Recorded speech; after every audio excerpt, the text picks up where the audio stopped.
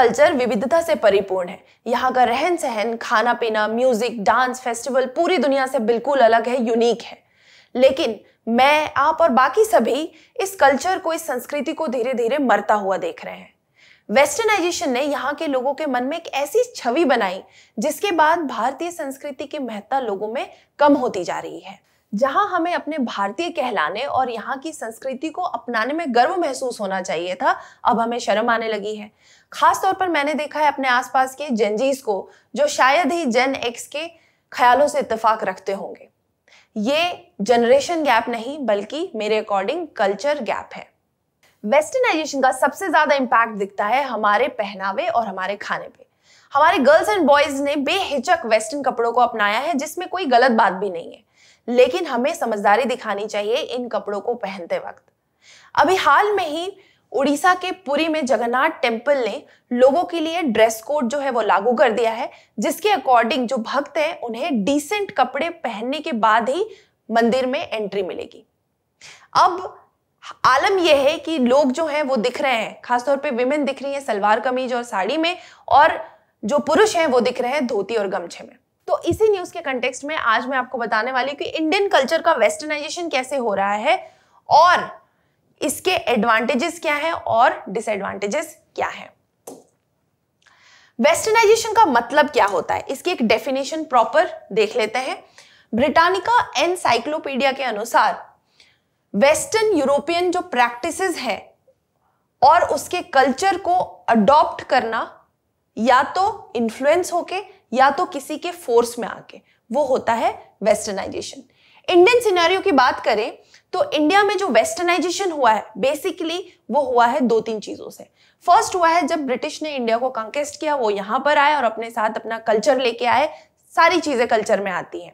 Education हो गया, पहनावा, ओढ़ावा लाइफस्टाइल एवरीथिंग सेकेंड अब मॉडर्न टाइम्स में जब स्टूडेंट्स बाहर पढ़ाई के लिए जा रहे हैं हायर एजुकेशन तो वहाँ पर उनका जो आ, सामना होता है वो वेस्टर्नाइजेशन से होता है वहाँ की फ्रीडम से होता है वहाँ के रहन सहन से होता है। और जब वो इंडिया वापस आते हैं तो वो कल्चर साथ लेकर आते हैं और उनके लाइफस्टाइल में और साथ ही उनकी वाइफ्स उनके बच्चे उनके लाइफस्टाइल में भी वेस्टर्नाइजेशन जो है वो एंटर कर जाता है।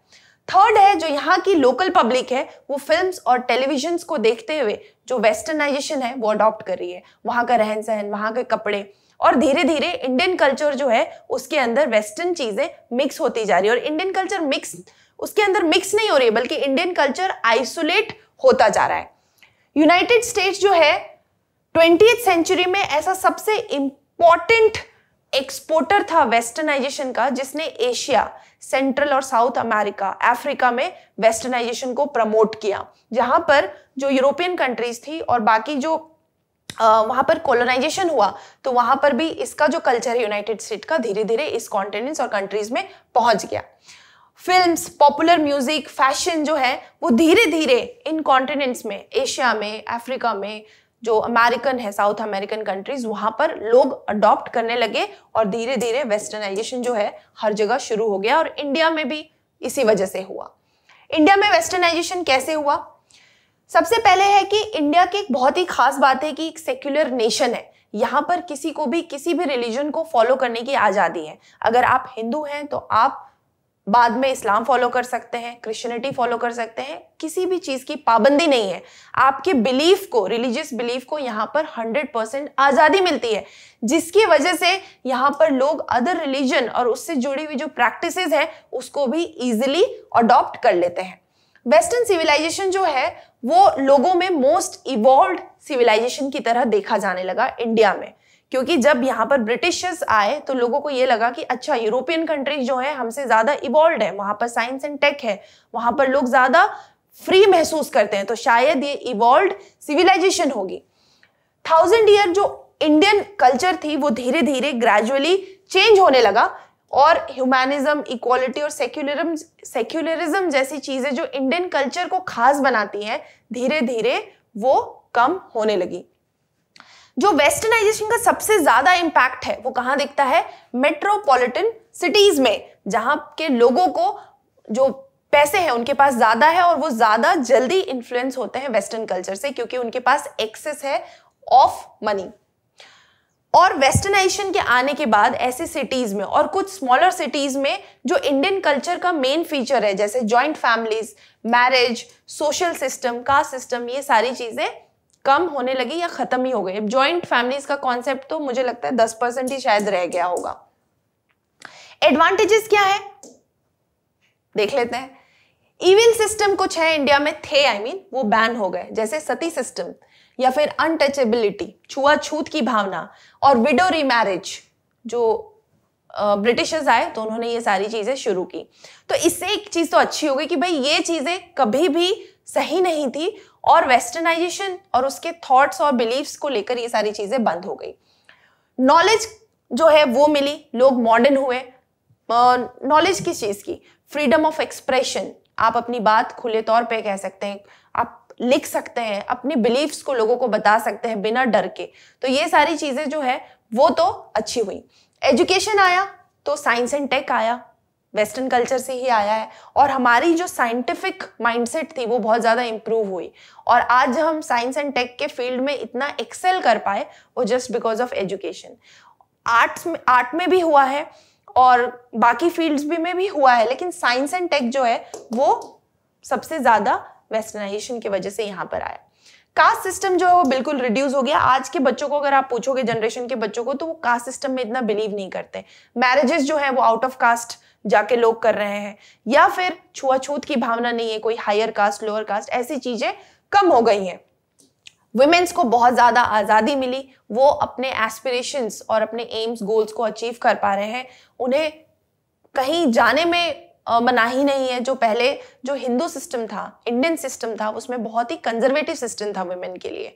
वैदिक कल्चर की बात नहीं कर रहे हैं हम, लेकिन उसके बाद के टाइम से हमने देखा कि वुमेन को सब्जिगेट किया गया इंडियन कल्चर में, जो कि वेस्टर्नाइजेशन के आने के बाद सती सिस्टम हटा विडो रीमैरिज से शुरू हुआ, और अब वुमेन को बहुत ज़्यादा फ्रीडम है, हर फील्ड्स में। हेल्थ और सैनिटेशन इंप्रूव हुआ। बाहर के कंट्रीज़ में अगर आप देखें तो हेल्थ और सैनिटेशन को बहुत ज़्यादा महत्व दिया गया। सफ़ाई को बहुत ज़्यादा महत्व दिया गया, जो कि इंडियन कल्चर में बहुत पहले से था, लेकिन धीरे धीरे ये रिड्यूस हो गया और हम इंडियंस को सफ़ाई के मामले में पूरी दुनिया में जो है वो बदनामी झेलनी पड़ती थी। जब भी फॉरेनर्स यहाँ पर आते थे तो एक चीज़ लेकर जाते थे कि इंडिया भारत बहुत ज़्यादा गंदा है, यहाँ के लोग गंदगी फैलाते हैं। अब चीज़ें धीरे धीरे बदल रही है, लेकिन हाँ हेल्थ एंड सैनिटेशन जो कि एक अच्छी सेहत के लिए भी ज़रूरी है, हमें वेस्टर्नाइजेशन से मिला। डिसएडवांटेजेस देखें तो सबसे पहले इंडियन कल्चर से हमारा एलिनेशन हो रहा है। हमें धीरे धीरे अपनी संस्कृति जो है वो हम भूल रहे हैं। हमें ना ही श्लोक याद है, ना ही हमारे पाठ याद है, ना ही हमें कविताएँ याद है, ना ही हमें अपने इंडियन पोएट्स इंडियन राइटर्स के बारे में पता है। हम ज़्यादातर जानते हैं वेस्टर्न पोएट्स वेस्टर्न राइटर्स और उनके अचीवमेंट्स के बारे में हमें ज़्यादा महसूस होता है। हम घर में भी इंडियन कल्चर को फॉलो नहीं कर रहे, पहनने में भी हम सलवार कमीज, साड़ी को भूलते जा रहे हैं, सिर्फ़ स्पेशल ओकेजन के लिए बच गई हैं चीज़ें। लेकिन मोस्टली डे टू डे में हम क्या पहनते हैं? इवन मैंने भी जो टी शर्ट पहनी है, वो वेस्टर्न कल्चर का एक प्रतीक है। तो इस वजह से एलिनेशन हो रहा है हमारे इंडियन कल्चर का। वराइटी ऑफ़ कुजीन्स ये एक्चुअली एक एडवांटेज है। लेकिन डिसएडवांटेज अगर हम देखें तो इसका क्या है कि हम इंडियन कल्चर में जो क्विजीन्स थे, वो भूलते जा रहे हैं। मैंने तो सिर्फ़ एपिक चैनल में देखा है, जब हमारे महाराजा या फिर हिस्टोरिकल चीज़ों में कुछ खास खास डिशेस होती थी इंडिया में, जो अभी लुप्त होती जा रही हैं। तो मुझे भी लगता है कि हम अपनी नानी दादी से जो चीज़ें हैं, खाना पकाने की विधि और रेसिपीज़ वो भूलते जा रहे हैं। कुजीन्स तो बहुत सारी हो गई हैं, हम चाइनीज़ कॉन्टिनेंटल मैक्सिकन ये सब इंजॉय कर सकते हैं, लेकिन इंडियन कल्चर कहाँ है? सब भूल रहे हैं। ब्रेन ड्रेन एक बहुत ही मेजर इसका इशू रहा। वेस्टर्नाइजेशन की वजह से हम उनसे ज़्यादा इन्फ्लुएंस हो गए कि वहाँ की लाइफ ज़्यादा बेहतर है। जिससे जब एक स्टूडेंट बाहर जाता है, वहाँ सेटल होता है तो उसका फ्रेंड उसकी जो पियर ग्रुप है, वो भी उससे इन्फ्लुएंस होती है और वो भी बाहर जाती है। जिसकी वजह से इंडिया के जो टैलेंट्स हैं, जो यहाँ पर यूज़ करके हमारे कंट्री को ग्रोथ उससे मिलता, वो अब ग्रोथ जो है वो नहीं मिल रही है। तो ऐसी जो ब्रेन ड्रेन है, इसका भी एक वजह है वेस्टर्नाइजेशन तो हमने यहाँ देखा डिसएडवांटेजेस ऑफ़ वेस्टर्नाइजेशन आपको मुझे कुछ और डिसएडवांटेजेस बताने हैं, अगर मैंने यहाँ पर कवर नहीं किया है, इस कम से कम आप कमेंट तो करेंगे मेरे वीडियोस पे। तो चलिए, बस आज के लिए इतना ही। See you soon thank you so much